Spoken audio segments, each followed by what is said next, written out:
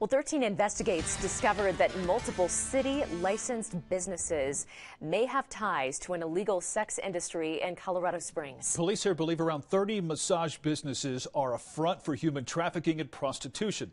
A warning that the story includes sexually explicit information. In a 13 Investigates special report, Dan Beedie is live outside one of those spas to explain what he's uncovered in our ongoing investigation illicit spas hiding in plain sight. Dan?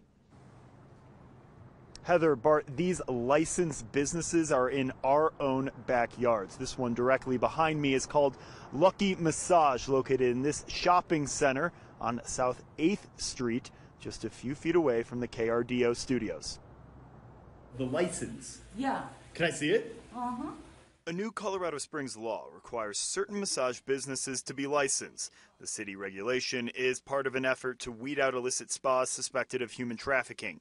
It outlaws people living inside massage businesses, requires them to close by 11 p.m., and prohibits the spas advertising sex online. 46 massage businesses currently hold city licenses, but 13 Investigates found eight of the licensed spas received recent reviews about illegal sexual services offered on the website RubMaps.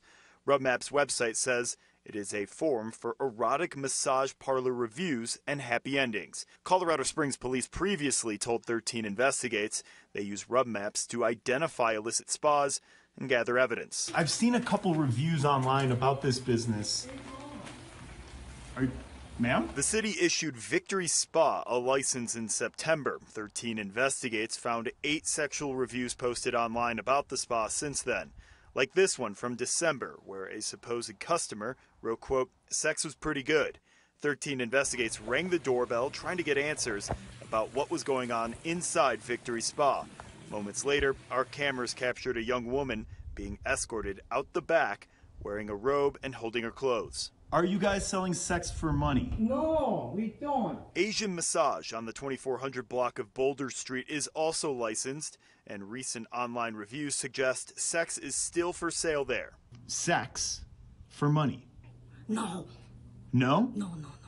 When 13 Investigates walked into the business, we were greeted by this woman identifying herself as Lee. Using a translator on her phone, she says it was her first day on the job. My boss told me only massage. Hello. We also visited Energy Day Spa in a shopping mall off of Carefree Circle. Sorry, I oil. The city granted Energy Day Spa a self employment exemption, which means the spa isn't required to apply for the massage business license. But sexual reviews like this keep popping up online. On November 29th, the RubMap user review of Energy Day Spa goes into exhaustive detail about the massage and sexual acts that came after. Writing, quote, I was given access to every corner of her body. We showed the woman we met inside. Gave money for sex.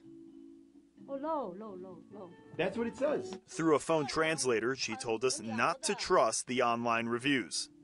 Some guests are boring. Yeah. Colorado Springs Councilman Dave Donelson tells 13 Investigates he's concerned about how the new city licensing law is working. And by now, every one of them would have either been shut down or would be in the process, uh, the court system. We showed Donelson a lewd advertisement posted on an escort website, Skip the Games, in December. It includes a phone number for a spa in Colorado Springs.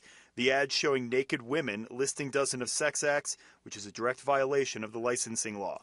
I don't think they respect it. I think they, they see it as the paper tiger or something with no teeth, and you, you can't blame them.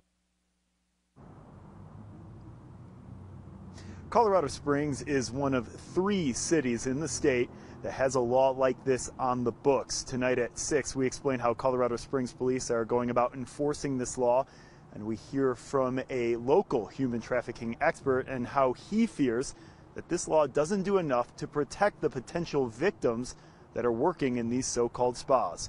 Reporting live in Colorado Springs, Dan Beedie, 13 Investigates. All right, Dan, good work.